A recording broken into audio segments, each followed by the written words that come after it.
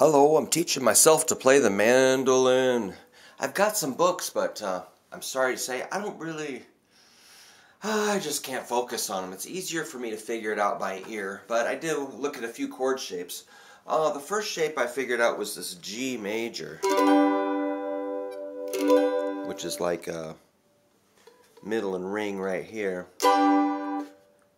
On uh, middle's on second string, second fret. Ring is on first string, third fret.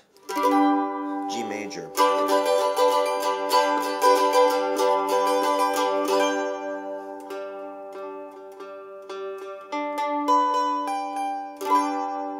Then I figured out C, which is like exactly the same thing, just one string towards the ceiling. So you got G and C. Same shape.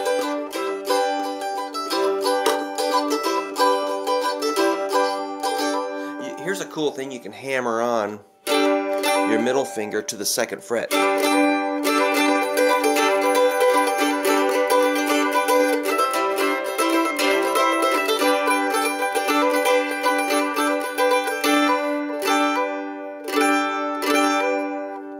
on both chords. And then, course, you know, if you got G and C, you need a D. So all you got to do for a D is slide your ring finger down to the second fret on the first string. Bring your middle finger to the fourth string, second fret, and hit four strings. That's your D major chord. So we got G, C, D, and G.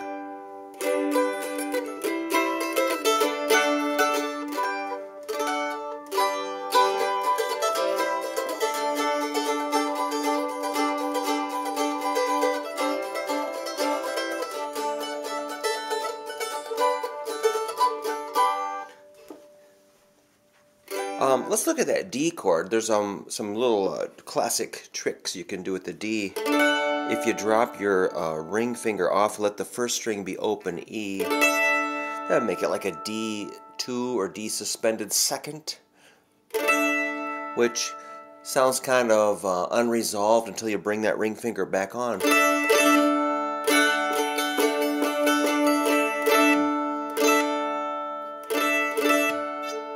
Can bring your pinky to the third fret of the first string gives you your D suspended, kind of like your John or uh, John Denver chord. Or hey, you've got to hide your love away. It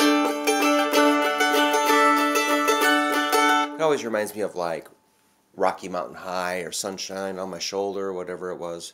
My teacher taught me when I was very young. Sounds like a Led Zeppelin song.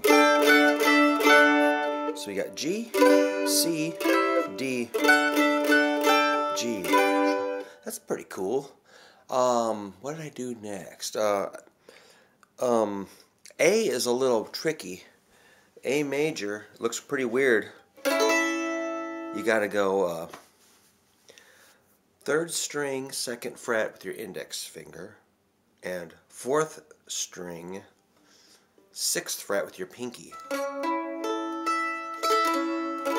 So it just takes time, you know, you got to just put in your time with this. You can't, don't get frustrated if it takes, if it is an instant. You're to have to spend some time with your instrument.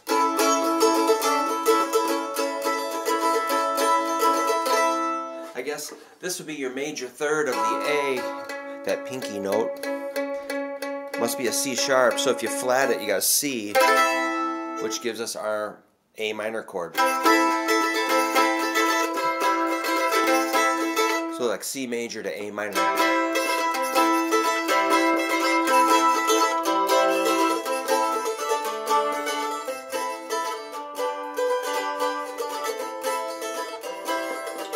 That's kind of cool. A minor, C, and G sound. Those are in a lot of songs. Uh, I ended up, I did look at a book and figure out F sharp minor, which is pretty cool. I mean, that's a weird shape. It's this one kind of, you know, your hand, my hand is getting a little bit tired as I get older here. But uh, this uh, F sharp minor would sound really good with your A. So you got your index finger on the first string, second fret. Make sure I do this right. Oops. There it is. Okay. First finger, first string, second fret, second finger, four, uh, third string, uh, fourth fret, and pinky on the fourth string, sixth fret. So you got your A major.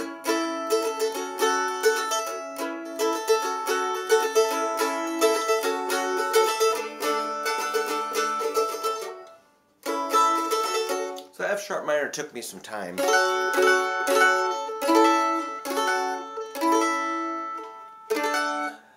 Little trouble figuring out the E, but I looked at my D chord and realized if I go up two frets, I've got part of it, but I need to bar to get the lower part, or the lower frets. So I'm going to bar across the second fret with my index finger, bring in ring and pinky here. Hopefully I do this right. Oh boy, a little confused for a second. I forgot. There it is. So if D looks like this, E would look like this. It's kind of like you use your first finger as a capo and make your D shape here. So you got uh, A, F sharp minor, D, uh, E.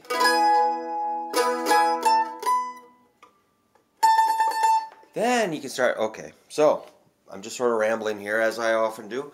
Then I, I uh, got a lot of good sound just use making a major scale.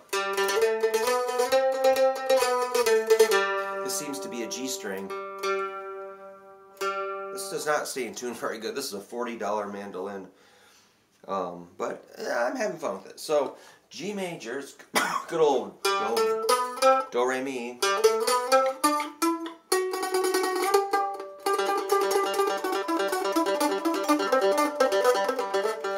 Is do re mi. You can figure that out. Do re mi fa sol la ti do. Most people don't want to do that. And then they're like, why can't I play? Well, you just got to get your major skills happening, guys.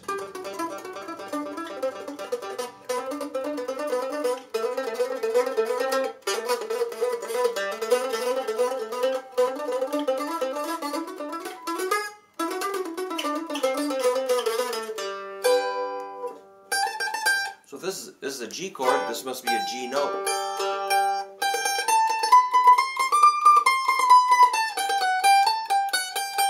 G scale. Do, re, mi, fa, sol, la, ti, do. That's just like a guitar. On This is an E string. That that's at least gives us a reference point.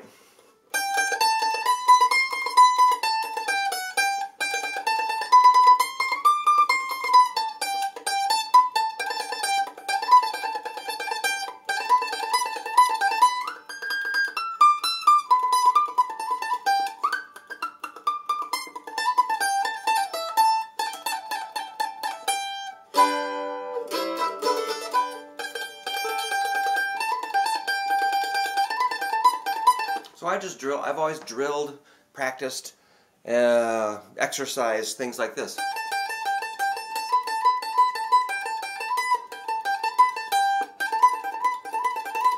Simple, simple, repetitive exercises. I just don't see people doing that. So, and they're wondering, well, how does it work? How do I make music? You have to get your hands working. You have to get your ears working. They have to work together. You got to coordinate two hands with your ears. So it takes just a lot of listening. Up the scale, down the scale.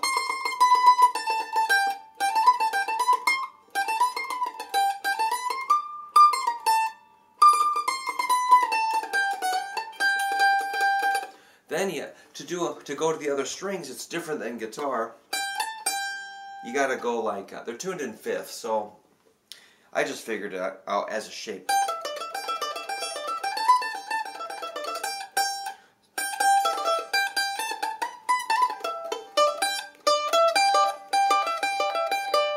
like a five, seven, three, five 5 on the second string.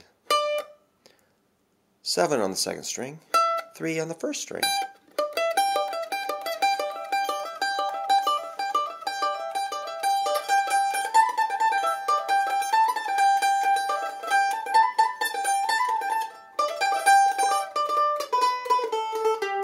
So I just sound it out, you know, your pentatonic scale.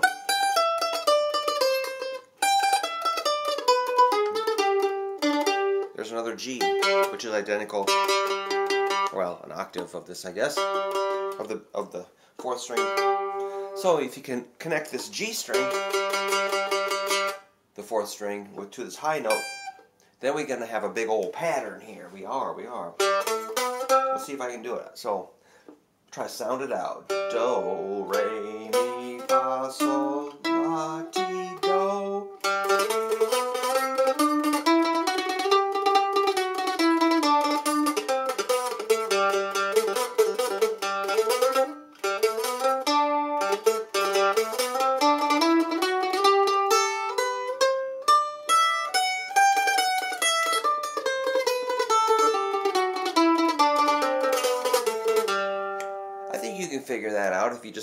out with your mandolin. Oh, I made made a mistake. That's okay. Now I learned something. Hopefully.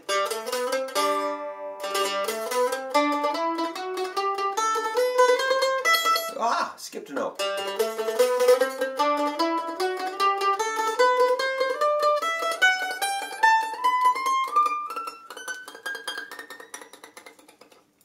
Those frets are tiny. Man, look at them dinky frets.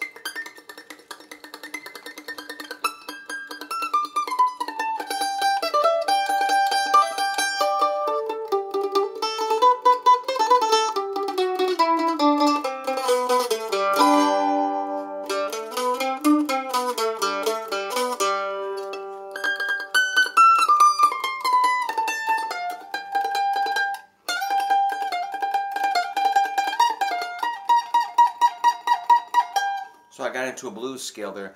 Anyhow, I'm rambling. I'm having fun. It's a $40 Rogue mandolin. It says Rogue Fine Instruments right on there. Rogue.